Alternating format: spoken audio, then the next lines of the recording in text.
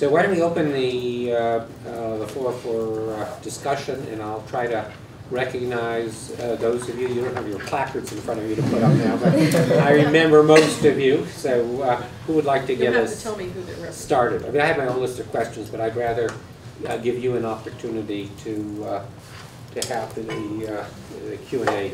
Anybody want to start us off here? Okay, Lorena, you want to identify yourself too, just for the benefit of Ambassador Burk? Hello, uh, thank you for coming to us today. Uh, my name is Marina. I represent France in simulation, bracket model simulation class.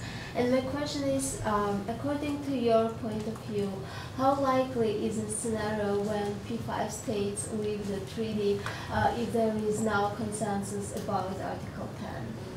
Because I know France is especially concerned uh, about a particular issue, and there are states which say that that is not important, and countries, according to the treaty, again, can leave whenever they feel like they need to leave. Um, how likely would it be that any of the P five states would Yes. withdraw? You know, I've heard that mentioned as a concern. Um, I think the chances of that are, are very, are, are very low, if, you know, or zero. Um, I don't see any, um, you know, I, I, I certainly, well, I, I mean, I hope that's the case. Um, it would, we, it wouldn't be in our interest, it wouldn't be in any of the P five interests to leave the treaty and have the treaty collapse. Mhm. And I think, again, if you're looking at this, um, if, if countries no longer have a legal, or legally barred from acquiring nuclear weapons, um, you know, most countries won't acquire nuclear weapons, but some countries will. Uh, there's some countries with advanced technical capabilities if they thought they needed to do it, and I think, uh, I don't know that there's anyone, any countries right now that possesses nuclear weapons, certainly the US. And again, I'm not speaking for the government, I'm just thinking from years of experience, that thinks that the world would be a safer place if there were many more nuclear armed states. You know, it's, it's quite the contrary, so the goal is to try to uh, ensure that there are, that- that, that are as few nuclear armed states as possible, and eventually to get no nuclear armed states. So, so I think that's, uh, I don't, I don't worry about that issue, but I, I have heard that some are concerned about that. Thank you. Uh, Drew, please. Hi, uh, thanks again for speaking with us today and uh, for engaging us in conversation as well. Um, My question is, what ideas uh, emanating from outside of the United States do you think the United States should be prepared to engage with um, as the review conference approaches and at the review conference? Hmm, That's a good one. Um, Any ideas that you have in mind that you think we should? I'm trying to think of how to answer that. discussed- I mean, perhaps the humanitarian initiative is a place to start because we just announced that we're going to be going. Um, Also, you and I discussed this morning um, some of the papers that, uh, that had appeared uh, Yeah. last year, uh, in particular the building blocks uh, Yeah. paper. Well, I, you know, I think, um, in terms of ideas that are out there, I think that there are some ideas, of looking at the PrepCom papers and, and various proposals. There, um, th- there are more states looking at this, I think, from a practical, uh, perspective. Um, you know, when there's talk of systematic reductions and building blocks, and I actually like the idea of building blocks. I know we're, the US government's still using step-by-step, but they've started to inject the concept of building blocks. I actually wrote some stuff for them about this, because the, the step-by-step sounds very linear, like until you do this, you can't do this, whatever. And the building blocks concept, I think, provides a, a, a better dynamic in a way, because it includes things like an FMCT and, you know, CTBT ratification. So there are things that be- could be going on simultaneously, and you don't have to wait for this to happen before you wait for the other. Now, in terms of reductions, I think you do have to, you know, we did New START, we were hoping to move on to, follow on to that, to include non-strategic nuclear weapons, to get the numbers down, as the president said in Prague, to a level where the, the negotiation would be open to the, the other P five and, and maybe ultimately others. Um, and we're just, we're, we're just kind of stuck now at this point, but hopefully eventually can, can move to the other point. So I think that's, that's a good idea. On the humanitarian, um, it's, that's a, a difficult one because of the direction that, um, some states and, and, and NGOs are attempting to, to drive it, which is towards, um, you know, let's skip the middleman and go straight to the negotiations on a nuclear weapons convention. And I think that, that, I, I see little, little chance, zero chance that the US would ever agree to that, it just doesn't make sense. I don't think the P five are gonna agree with it. Um, But I have said many times, and been criticized many times by colleagues who are in NGOs, that I think it's a distraction from, you know, the, a real path forward, and uh, it, it kind of changes the subject in ways that gets us off message of what we need to do. Uh, So I'm hoping we don't get too bogged down in that. I think it would be better to look at the issue of consequence management, um, and uh, not only a nuclear war, but I think the, the more real, the, a problem that I think is, is unfortunately more likely is the use of, uh, terrorist use of nuclear uh, radiological material, and what are the consequence management, you know, implications for that. Um, And we can talk about a nuclear exchange, I think most of the countries are saying they don't want to ever see that happen. Um, But could we start at a, at a more local level, and then go from there to talk about what are the, you know, you know, environmental, health, what are the capabilities you have? I mean, I look at, you know, does the US have a capability to deal with Ebola? You know, I mean, forget radiological. So I think these are real issues that the international community could, would be well-served to address, is how to deal with these kinds of disasters. Uh, Scott, I saw your hand, and then Ruby. Okay, I'm, I'm Scott, uh, and I'm representing Iran, uh, so Okay? I appreciate you being here today. Uh, But just, more significantly, you're chairing a working group one. yeah, I'm also, Oh, okay, okay. My condolences. For, for working group one. yeah, thanks, I've actually been getting that a lot the last few days. Um, we, we, we've tried to work on like the India, Pakistan, Israel issue in, in our working group um, over the course of the semester, but we really haven't found a good way to to approach that issue or a good way to to, to bring that issue uh, to fruition. Um, is this, in your opinion, really, is this something that can be accomplished within the NPT, or is this issue going to have to be outside the NPT? Well, um, I, think for both of those issues, they're issues that are not gonna be addressed within the NPT. Um, but let me take them separately. On India and Pakistan, neither one are NPT parties, and there has not been much appetite in, in previous review conferences to, to address the India-Pakistan dynamic in any kind of significant way. So the fact that, that India and Pakistan even get mentioned in documents now, I think, is, is a step forward. But whether or not there would ever be a movement uh, within the non-aligned group or, you know, regional states to kind of put the attention on India, Pakistan, that the Middle East states do for Israel, I don't see that happening. Um, And as non-NPT parties, any, um, anything that might be done to, uh, to address that dynamic and, and that sort of thing is not going to be done in the NPT. Now, in the Middle East, um, I also don't think, even though the Middle East issue is the, um, has become a perennial issue in the NPT conference, uh, and, and it was, even before 1995, there was always attention paid uh, to Israel and to South Africa. Then South Africa disarmed and, and joined the NPT, but in 85 and 90 and so forth, they were always paying attention. 95, however, with the passage of the Middle East um, resolution, and I always say, I I was there in 95, it seemed like a good idea at the time, um, that, that then changed the dynamic, so all of a sudden there was a, a, a document around which countries could rally, and, and it kind of came to a head in 20, in 2010. But resolution, you know, resolving the Middle East issue and coming up with the Middle East WMD free zone, and I saw from some of the papers, the nuclear weapons free zone, again, the, the idea is that it's a weapons of mass destruction free zone. And um, people will shorthand it to a nuclear free zone, but what we're really talking about is all weapons of mass destruction. Because while, you know, some, they might be out of the NPT, there are several other states that are not, that, you know, have, possess other weapons or are not parties to other WMD treaties, CWC, BWC. Um, it's, you're not gonna resolve it in the NPT context because not all the states in the Middle East are NPT parties. And so that's, the- that's the dilemma. Now, will the NPT Review Conference continue to address this issue every time? Yes, it, it will, for political reasons. But there will not be a resolution of the Middle East. There will not be a WMD free zone that gets negotiated at an NPT Review Conference. So it'll have to be done separately. Um, The NPT Review Conference can comment on it, they can discuss it, they can applaud it, they can criticize, but the NPT Review Conference, I saw this on one of the papers, it's not a negotiating body. Nothing will get negotiated there. It, it can, it can call for negotiations in the appropriate venue. It could be in the IE, it could be in the CD, it could be, you know, somewhere else. But it, it's not a negotiating body, it meets for a month, and then it has these prep comms, but it's not in and of itself going to negotiate. Ruby? I, Or do you want just to? really quick, if I could ask a follow-up question. Um, when you talked about the Middle East Resolution 1995, you said um, it seemed like a good idea at the time. Is it not a good idea? Well, I know, I say, I say that, I, I say that sort of flippantly.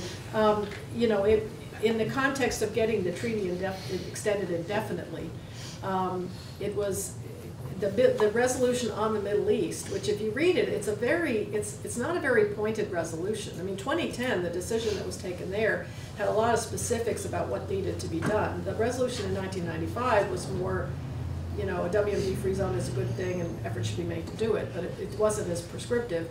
Um, it, it allowed the decision to extend the treaty indefinitely to be taken without a vote. Now, you, you, you might hear, there will be some who will argue that the treaty would not have been extended indefinitely without that resolution. And that as a practical matter is not true. Because there was an effort being made on the margins, the Canadians were running this, to, to um, collect co-sponsors for a decision to extend the treaty indefinitely. And the, the rules of procedure provided that you needed a two-thirds majority to, to make that decision. Um, they collected the names and they had the requisite two-thirds in writing, and they continued to collect names. So um, the, that changed the, the the dynamics with some of the groups there because they realized, okay, the treaty could be extended indefinitely. But it was seen, I think, by most or by all to be a politically much more solid result if there was a, you know, there was no disagreement to that. And so the Middle East resolution was something that was put together, and then it allowed the conference president to pronounce that the decision had been taken without a vote. Um, and that politically was a stronger message. Thanks. Ruby? Hi, I'm, I'm Ruby, and I'm representing South Africa in the simulation. Um, firstly, thank you so much for talking to us today. Um, I was just wondering, like, looking back to President Obama's 2009 speech, he emphasized the role of U.S. leadership in disarmament. Um, and I was just wondering how you view the role or power of U.S. Um, action on disarmament in influencing other states' decisions to disarm, and whether you see meaningful action by the U.S. as a prerequisite, not only for disarmament by other P5 states, but by non-treaty states as well. Um, well, I, I feel very strongly that the U.S. um, can and, and has to play a strong leadership role on these issues. I don't know about prerequisites, but I do think it's important, and that's why um, when I saw the announcement that, that the U.S. has decided to attend the humanitarian conference in Vienna, um, I was elated about that. Um, I've been advocating, as Bill knows, from the beginning uh, that the U.S. should have gone to these meetings. I don't think there are any meetings that we should avoid. You know, we always have something to say. People may not want to hear it, but we always have something to say. Um, and if you're going to write the narrative on it, I think we should contribute, and I've made that argument. So I was elated because I do think that is a demonstration of U.S. leadership. Now, be prepared when the U.S. goes. They're not going to all of a sudden get all soft and fuzzy. Um, they're going to. The position is the same, but the willingness to go and, and be in a group and have a conversation and put views down that you know that stem from you know vital national security considerations, not crazy, you know. I mean, this is all very serious stuff. Um, I think that's really important, and I'm elated to see that um, demonstration of U.S. leadership. Whether or not it, it uh, provokes others to, to do this, I have no idea. I've been trying to find out, but I haven't been able to find out. Um, but I do think that at some point we need to do what we think is the right thing um, nationally and internationally, so that's good. Um, in terms of prerequisites, I don't know. Sometimes, um, you know, sometimes it just needs somebody to step out and take it, and then others can, you know, feel comfortable doing that. You find that an awful lot, and that's why on the CTBT, um, it, it's a shame that we can't ratify it. There, I mean, I won't go into why I think it won't get ratified in the next couple of years, or maybe afterwards. But uh, if we were to do that, we would step aside for those who are standing behind the U.S. because the U.S. is the target, and there's several other states that haven't ratified who are really important. But there's no one's going to pay attention to them because we're the big, the U.S. is the big ticket.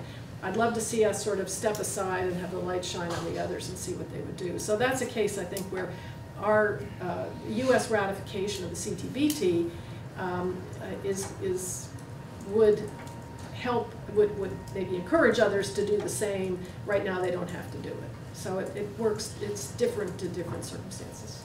Thanks. Um, I think I, I actually saw Slava Michael, and we have our Chinese uh, representative, I'm sure, uh, will uh, add to our discussion here. Slava, do you want to identify yourself? Yeah, uh, my name is Slava. I'm representing the United States in the simulation class. Uh, thank you for coming for us today to, to speak. Uh, actually, I have two questions to you. Uh, the first one uh, will be connected with the NPT regime. So you said that uh, if we're discussing the NPT collapse, uh, it means that the whole regime collapse is collapsing. And you said the phrase like, and you, if it if it is so, and if NPT collapsed, we would live in a, in, in, in a new world then, right? But uh, is it really so? Is it the treaty effect? Because uh, uh, we can have two examples here. For example, in disarmament, you mentioned that it is very nice that uh, we have a disarmament issue in the NPT. But uh, now we can see the bilateral effects. Uh, I mean, New START treaty, for example, the U.S.-Russian negotiations, or unilateral decision by France to disarm, or for example, CTBT. Uh, we have unilateral moratoria. So, uh, is it really is the treaty effect that it works like so? But or the if we uh, have, for example, a weaker treaty, so maybe with the effects of unilateral or bilateral negotiations, it would be the same. It is the first question, and the second question it's about. Um, partly you answered um, the questions about in, India, Pakistan, Israel, but uh, I would like to um, a bit uh, in a different way uh, to construct my question. So India Pakistan, we have U.S. India deal, but uh, it seems to some scholars that it's like um, uh, not very fair not to have uh, with it Pakistan as well. And if we have, for example, P- P5 plus one negotiations on Iran, but we have nothing on Israel. So why so? And um, is it possible to establish some kind of um, more um, negotiable partnership with Pakistan and Israel? Um, okay, well, let me take the last one first. On India and Pakistan, you know, why not Pakistan? I know Pakistan makes that point. Um, I think they're two entirely different situations, and, you know, on the other hand, India and Pakistan, they don't like being kind of made equals or compared. They see themselves as different states. And I think the decision, um, I, I wasn't involved in the US-India decision. I was working counterterrorism at the time. Um, but uh, Pakistan is a different, it's a different issue, and it's a different set of issues in terms of its program, and I won't go into that, but um, I, I think you don't, you don't say, well, we're, because we did it with, with this country, we're gonna do it with this one, you take them on a case-by-case basis. All right, so that's, I mean, that's the answer there, and I'm not gonna go into more details. Um, on why, why not negotiation with Israel and with Iran? Well, I mean, this is, the, the important part here is, Israel has never joined the NPT, all right? It, it, it has never been a party to the NPT. And, and Iran joined the NPT on its own volition, and then it violated the NPT. So they're completely different. And there's always an attempt to sort of conflate the two. But I, I see this as, uh, you know, you have a country that uh, uh, accepted legal obligations uh, with all that that means for its partners and its neighbors and, and the rest of the world, and then it, it, uh, it, uh, it didn't comply with its obligations. And that's a completely different situation than a country like Israel or India or Pakistan, regardless of whether or not you like what they're doing or whatever, they never undertook a legal obligation not to do it. Yeah. And so it, you know, they have not broken any laws. Now, you, you know, I did say at the beginning, it's sort of an international norm, but in terms of the legal framework, they haven't violated any undertakings that they have accepted. And so to compare them, or to conflate them and say they're both the same, I think is a mistake. Okay, uh, may I just uh, Yeah. a bit specify? Uh, but it's both countries are under criticism, right? So uh, I I understand what you what you mean and you're saying about Iran, but it, it doesn't it doesn't mean that uh, Israel case is not the issue. And uh, a lot of um, like uh, scholars and uh, politicians say that like they have no alternative to um, their opaque policy, but it doesn't mean is again Iran? uh, Israel. I mean, like uh, they they have no alternatives uh, for their opaque policy, but it doesn't mean that it is not the issue, and it's uh, not worth discussing that. So why not like to negotiate that and to uh, work together on some alternative to this policy because it's it's uh, getting and getting older and older with years, and uh, there is nothing to do for Israeli government with it uh, because it's uh, it's easier and it's better to stay the same position, not to modif- modify um, it, it some, some somehow because like no choice. So why not like like to help them and to, to disarm them because it's uh, the aim of the regime and the aim of the NPT or like whatever. Well, I, I think, I, again, I, I see them as entirely different things, and, and talking about, you know, Israel's program, again, that has to be handled in a different context, and, and I think, the, you know, if we talk about the Middle East writ large, that's where those kinds of issues could be addressed.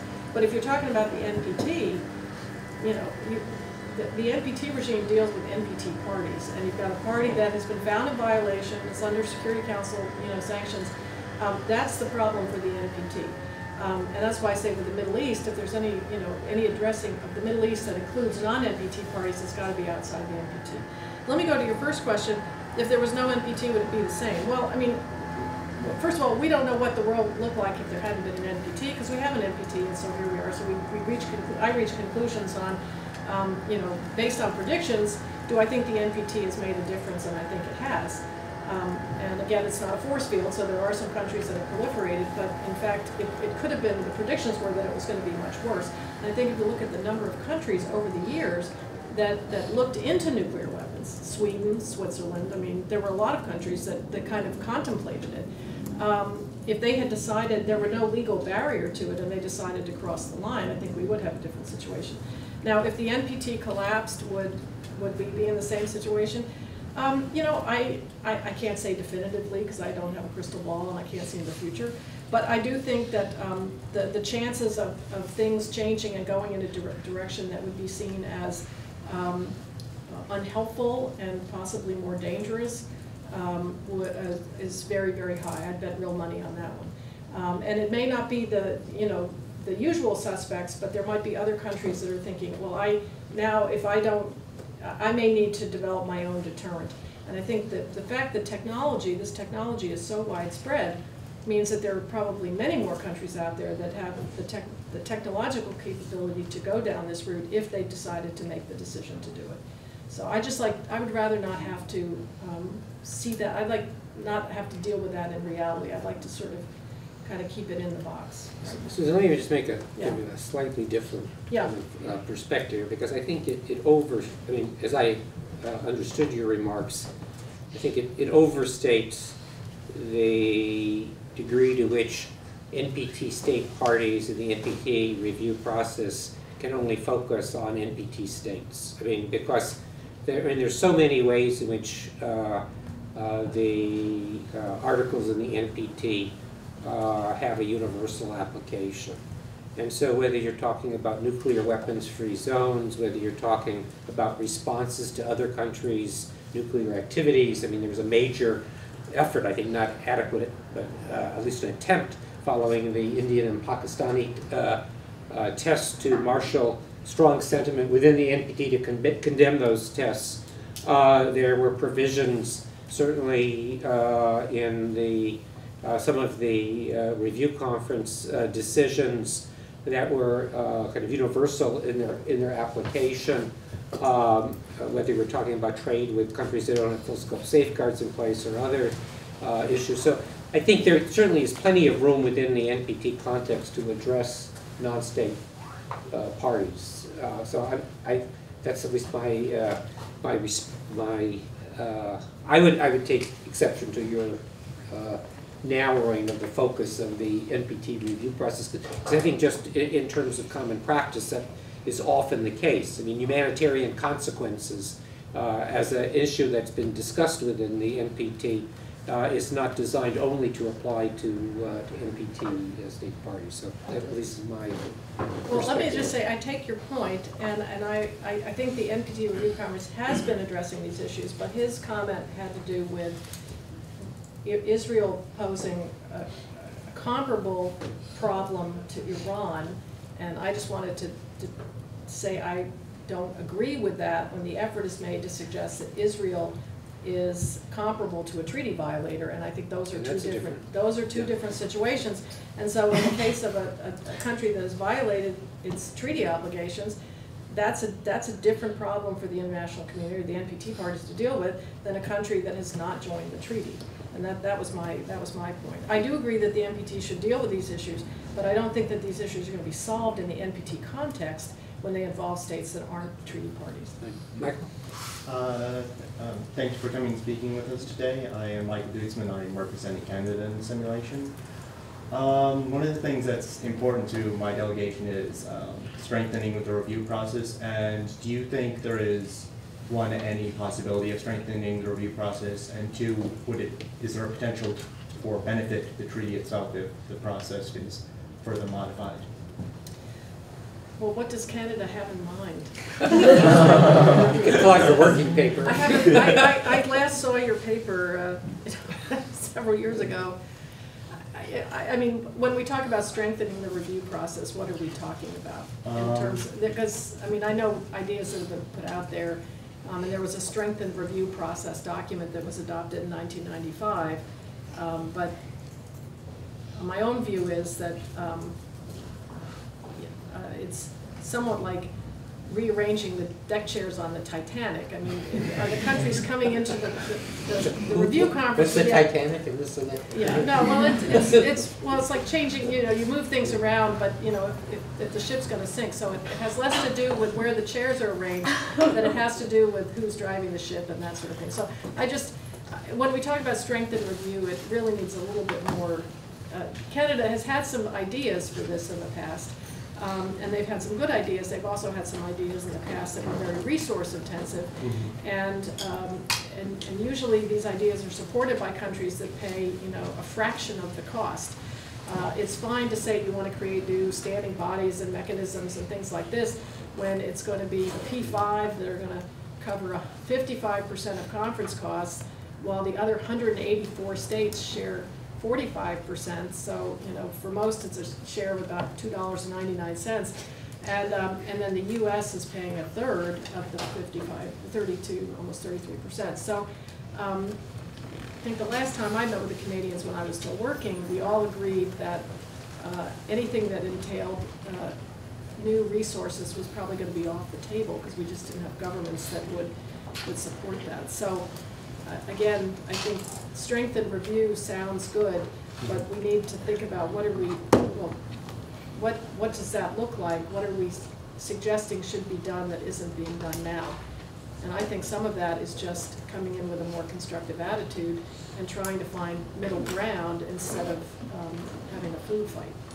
Michael, why- we can have that food fight uh, Yeah. at four o'clock. Please, sir. No, Mike, you don't. Uh, hi, I'm Hisham. Uh, I'm representing the People's Republic of China in the simulation. First of all, I want to thank you so much for joining us and uh, sharing your knowledge with us. It's really helpful. Um, I couldn't agree with you more that uh, the bigger players need to take the first step in uh, ratifying the CTBT. Uh, Pardon, that, the, that? the bigger players need to take the first step in uh, the ratification of the CTBT. Um, and also that the US should not be seen in isolation and all P5 nations should uh, make their efforts in that regard. I have two questions. One question is uh, with regard to uh, the US deciding to attend the humanitarian consequences. Uh, I was wondering what steps and what efforts led to that. And uh, my second question is with regard to uh, Pakistan. I was just curious to know what you think is going to happen in, uh, in the aftermath of the US pullout of Afghanistan, considering the fact that certain restrictions were lifted uh, as a result of Pakistan joining the war on terror. I was just wondering what you think, like, will there be more pressure on the state of Pakistan to possibly join the NPT after the war, after the pullout? Do you think anything's going to change in that regard? Just curious to know. Thank you. Um, Well, let me answer the second one first. I have no idea. I, I no, I, I couldn't, I couldn't begin to, to, I'm not close to those issues and wasn't working them before, and um, I, I just wouldn't even hazard a guess, that would be responsible. On the US and the humanitarian conference, um, yeah, you know, I don't, again, I'm not, I'm not with the government, you know, I'm not representing the government. Um, I, uh, I don't know all of what went into that. I, I do think that, um, Uh, And I haven't, I, actually, I saw an agenda for the conference at a meeting in Monterey, um, CNS meeting in Washington.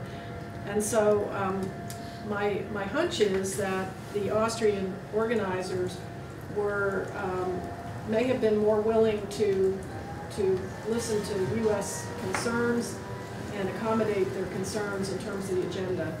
Um, and I think that was not done before.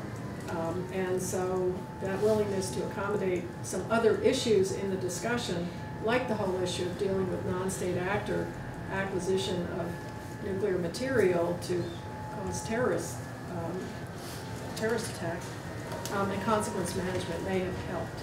Um, I know there were, there have been a number of people quietly encouraging them to think about going, um, to, to say that, you know, it's important to engage on this discussion because it's not gonna go away.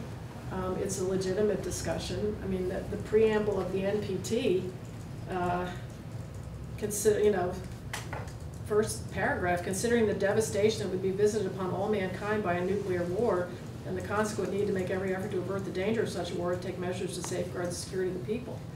Um, the fact that President Obama talked about this in Prague, you know, so I, I, I think it's, again, I'm, I was elated at the, you know, when I saw the announcement of the decision, um, and I think it's the right decision, and we'll see whether or not other, and I, and my understanding is it was made unilaterally, but we'll see whether other P five go as well, because up to this point, the P five have been united in declining to go. Can I ask one? more Go ahead. How do you think this would um, influence the other P5 nations, this move by the US? How do you think, uh, what the effects of that would be on, let's say, Um, Russia and China? Well, Bill and I were talking about this this morning, we'll wait and see. You know, I have my, I have, I have some hunches, but I, I just don't know. I, I think each country has to make their own decision. You know, P five solidarity is a great thing, um, up to a point, and then I think at some point, you know, it's the issue of, you know, you need to do what is, makes the most sense, uh, in terms of your national interests and that sort of thing. I think we have a common interest in doing, it. I hope all P five go. I think this is, it would be, this would be useful to engage on this discussion in December, because it's going to be an issue at the review conference. But I don't think that the other parties coming to that conference should assume that because the US is agreeing to go, that we've decided that we're gonna, you know, announce that we've eliminated all our nuclear weapons and we're no longer relying on nuclear deterrence for our security.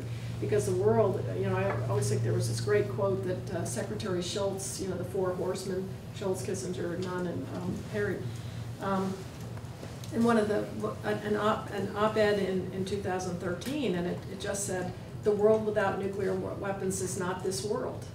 You know, and I, I think, I'd love to see the NPT review process, you know, get back into a discussion of what are the, you know, what needs to be done to create the conditions that it will allow all of these countries that have acquired nuclear weapons to back away from them, you know. Um, and we, we haven't had that kind of discussion, although I think in 2010, we began to shift the debate a little bit more, you know, where there's a more of an acceptance of, that everybody has responsibility. You know, the NPT is the game the whole family can play, you know, everybody has a responsibility in certain ways.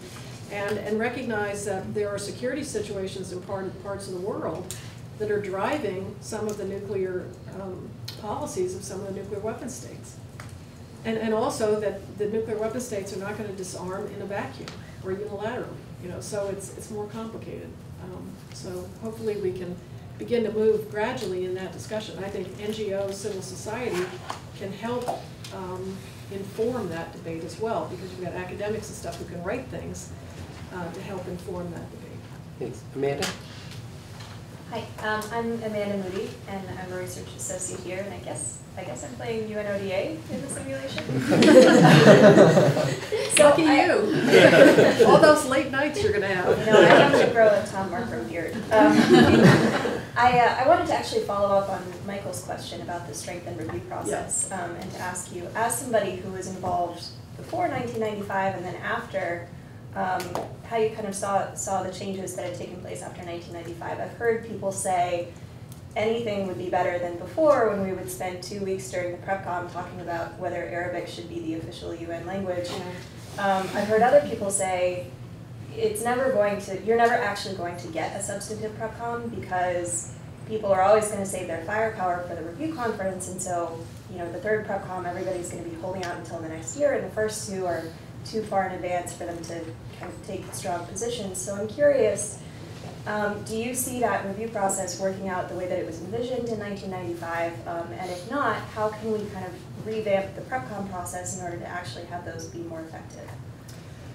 Uh, that- yeah, great question. Um, I, well, on the PrepCom, I, I happen to be of the view that, that people are not going to go to their bottom line until the eleventh hour of the eleventh day, you know, in the meeting, That- that's just the way it is.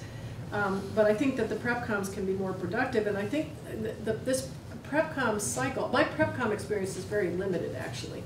Um, and, uh, you know, I was involved in all the PrepComs for ninety-five, but I hadn't done a PrepCom since then until 2012, because I came in after the third PrepCom for 2010. Um, I thought that the PrepCom cycle for this conference was probably the most productive one I've ever seen. Uh, Some of it had to do with, from day one, there wasn't the monkeying around with the procedural stuff that you've seen in the past. It's just a thing to just kind of throw, you know, rocks in the road.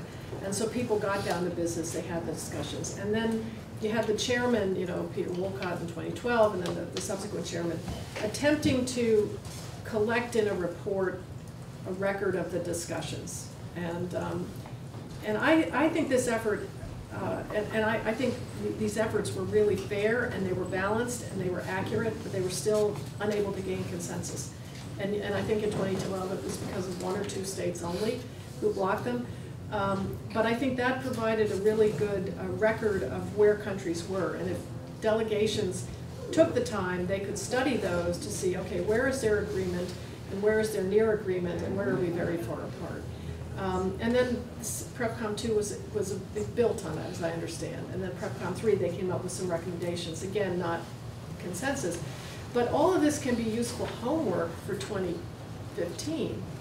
And so the PrepCom process, you're not going to agree to final documents in the PrepCom process, but if you use it as to really prepare, so that when you start in 2015, you've got, uh, you've got some paper out there that already is indicating where you've got agreement. And if the parties could ever decide, okay, we're not going to rehash that and give the same statements over again, and we're going to cut down, we're going to get down to the areas of disagreement, they can use their time more effectively and then be prepared to, you know, agree on, agree with, on what you can agree, and then set the other aside instead of doing the all or nothing kind of thing. Because when it's all or nothing, it's, you know, it- it's always gonna be nothing.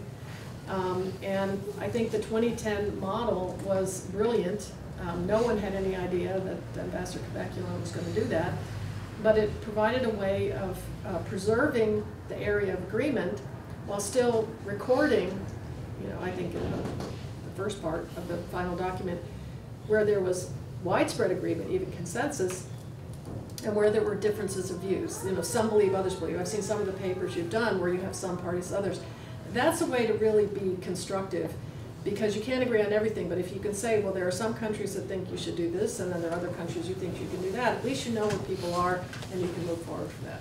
So I, I think that there are ways to use the time better, um, to avoid the, the redundancy and, you know, the repetition. Um, and I think the PrepCom process can really be helpful in sort of providing a launching point. And I don't know whether the parties are gonna do that, but I think with the reports that have been done, they could be used as a jumping off point for twenty fifteen and avoid having to have everybody repeat the same stuff all over again like they've never met before. Yes, Grisha? Thank you. Uh, my name is Grecia and I represent Iran. Um, and thank you for speaking to us today. Uh, I had a quick question. Um, how will the 2015 review, NPT review conference be affected if um, the P5 plus 1 negotiations and the framework for cooperation both fail and if the IAEA does not uh, produce a resolution concerning the past and present outstanding issues? That is a great question. Um,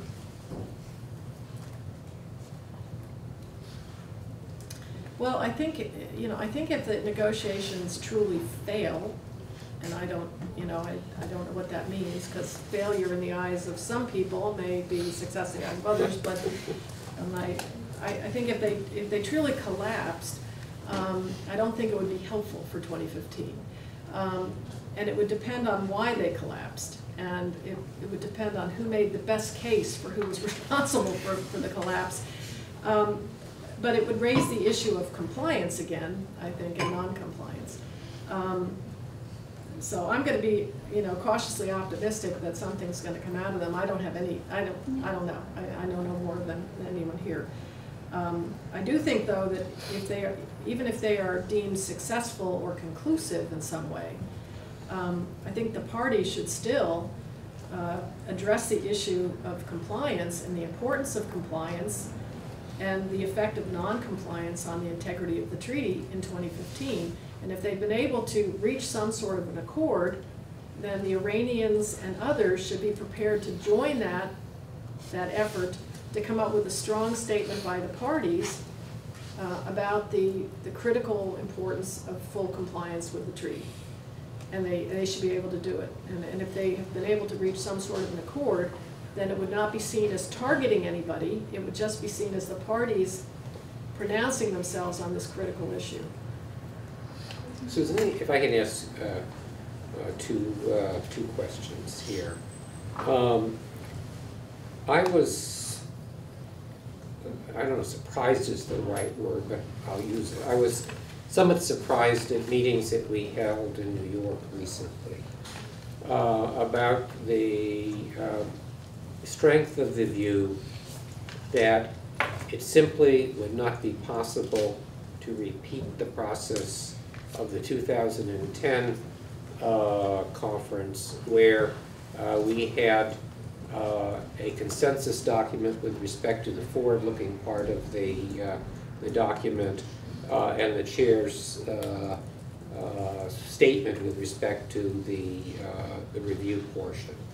Um, I thought that, I mean, I was simply struck by the uh, convergence of strong views that that would not fly again. So that, my question is whether you, you know, kind of concurred with that assessment. Um, And the second, uh, which is maybe a little bit more uh, difficult uh, question, um, how do you think the review conference will actually deal with the 2010 action plan? Uh, Because you have a hodgepodge of, of, uh, of uh, kind of benchmarks, the things which really are, are- are not benchmarks. Uh, There are those who would like some of these just to roll over for the next review conference. There are other countries that have made it very clear that they think that we have to, that is, the, the state's parties have to assess to some extent themselves uh, implementation of the different items, uh, prioritize among the items, and perhaps even set more uh, timelines in terms of their, their implementation. And I don't know how the conference really, you know, grapples with that mix of uh, approaches. I'd be curious how you think they should and will uh, deal with that issue, which they'll, they'll have to address in some fashion. Right, okay. Well, on the first question, um, I, I picked that up, I think, from some things I saw from meetings that you had had in Annecy and others. I wasn't there, but, you know, my sources about the 2010 process. Um, You'll have to tell me later who, who's, who's making these points. I, the only reason I, I think you would argue against this process is if um, you were determined to, um, well, if you, if you were prepared to have there be no result, and I think that could be for various reasons. It might be to keep certain, hold certain countries' feet to the fire, or it could be to sort of show that the process is not effective. Um, and maybe there's a thought that if you agree now to this sort of bifurcated process, that it takes the pressure off of countries. Um, and I hadn't really thought about it that way, but I, I do think it was a brilliant way of um, getting to, to some sort of result. And, um, and I, I think it, it's a much more effective, um, a, a much more effective outcome than these long mammoth documents that cover everything that are consensus that, you know, I, I think that, that this, because it had a, a part of it that was consensus's action plan, I think it was politically more important. And I think, at least for the United States, when I was there, they took this very seriously. One of the first things that happened after the review conference is the NSC called a meeting to go over the action plan, to come up with our sub-action, okay, how are we gonna implement this, how are we gonna implement the, you know, whatever, was taken that seriously.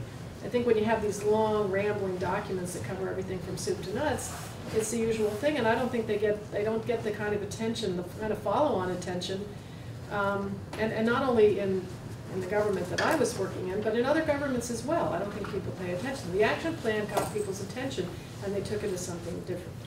Um, I also don't think that the likelihood of agreeing on everything in any meaningful way is very high. And I think when you water everything down, it becomes less valuable than if you try to tease out those, those key issues on which you can agree and then try to work on them. Um, so we'll have to see how it goes. I, I, there was also a lot of um, unhappiness, not a lot, but some unhappiness with the fact that the 2010 president kept everything to a tight schedule um, and did not allow this to just go on and on, you know, indefinitely. To, and, and people were unhappy about that. One, one refrain that I heard frequently from one key delegation, who I shall not name, was, but we've never done it this way. And I finally said, well, you know what, I've been involved in this several other times, and the way we've always done it doesn't work, so I think we should support the chairman, the president, and give him an opportunity to try it another way, because, you know, the way we've always done it is not effective most of the time. Um, and so there's some of that too. We've never done it this way. I think, you know, again, parties need to be open to finding new ways to, you know, to skin this cat. Um, but the fact that you're hearing strong views about it, I think this, this isn't a good sign, unfortunately, but maybe it's not surprising. Um, how will they deal with the action plan? That's the sixty-four thousand dollar question. And I think a lot of people are trying to figure out how to do that. Now, um, I, I think there are various ways to do it. I, I don't think we should take the action plan as it's been builded and, you know, it's put on a shelf somewhere. I think the idea was it's not, it's, it's not, um, it's not a deadline. It's an action plan. It's a blueprint for how to get to better implementation of the disarmament, non-proliferation, peaceful uses piece of it. Now, as a practical matter, the disarmament piece is much more action-oriented, and I think for some governments, uh, the fact that so much was given on disarmament and so little was got, gotten on non-proliferation and peaceful uses is something that some people, we heard a lot of that um, about, that, that may, that may um, undermine the argument that if you are more forward-leaning on these issues, you're going to get more front. That didn't turn out. So I think if that continues again, that's going to be very problematic for some governments that would like to be more forward-leaning on disarmament. If they're not getting anything for it, there's not going to be any political appetite to do that. Um, but I think you've got this action plan, and I, I don't know what people are planning to do, but I, I would I would take it and I'd look at, um, you know, how how have you know how have things been done. Some of these things may have been achieved. Some of them maybe they just need to be updated and tweaked. Maybe some new things need to be added. You know, they talk about 64 actions. There really aren't 64 actions. Um, there are a number of, you know, if you, you can combine three or four of them into one action because they're just variations on a theme, you know, on one thing. So um, could some tightening be done to it? So it really comes down to actions. Um, would NPT parties be willing to put some more actions in about the additional protocol? Maybe not, if that has to be consensus. Could there be something on it about compliance? You know, there's some other things that certainly, from the perspective of at least one government, um, it was very, very weak on, on critical issues there. Um, could there be more on disarmament? I, you know, I think there probably could be. Are you going to get all P5 to agree to it? I don't know the answer to that. Um, even if one government or two or three went along with it, could you get all five? Um, you know, the moratorium, fissile material moratorium was an agreement, four out of five agreed with that, but it wasn't in the action plan because one country would not support it. So, um, you know, it's hard to know, but I do think that it's a unique device that was created, and I think if the parties decide to embrace it and to update it um, and to carry it forward for the next five years, you, you might be onto something useful then. And then it, I think it takes on more legitimacy as a, as a blueprint or a roadmap for moving forward. Uh, so I would, I would, I guess I hope that, that it continues to be used and it gets updated. Um, in terms of the rest of the stuff, the other issues, uh, if you could get all the parties to agree on all the issues, that would be wonderful. And, and an effort should be made to continue to come up with as much a consensus agreement on the other wide range of issues as possible. But I don't think the conference should be deemed a failure if uh, one country, because I mean, let's face it, one country can block the consensus. And at least in 2010, there was at least one country that would have been prepared to do that. So does everyone else get held hostage to that, or do you just, you come up with a report that reflects very clearly that on, on most issues, there's consensus or consensus minus one or two, and on a few issues, you've got some states that are here and some states that are there. I mean, is that a terrible outcome? I don't, I don't think so. So I, I have to ask those who are opposed to this, what's so terrible about this outcome? Unless it's the idea that it, it's, uh, would take pressure off of countries. I, I think, you know, I think at least, I, I think for the United States, I, I don't know, but, um, in the past, we've always felt under tremendous pressure on the NPT review conference because the NPT is so important as a national security tool for, the- for the United States. So, you know, maybe in 20 2005. But I think, you know, most of the time, um, it, we take these, these meetings very, very seriously and uh, feel under tremendous pressure to, to try to make the most of it. Well, thank you so much, Susan. Uh, You really gave us, I think, an extraordinarily comprehensive look. Uh, You didn't uh, disappoint me in terms of being provocative on a number of points. Uh, And uh, in a couple of hours, you're going to lose the luxury of being able to speak simply as a private citizen. You'll have to be addressed again as the distinguished representative from the United States. So Okay. for those of you who are looking forward to learning more about the U.S. perspective, uh, please join us in this room at 4 o'clock. Please Okay. join me also in thanking uh, Ambassador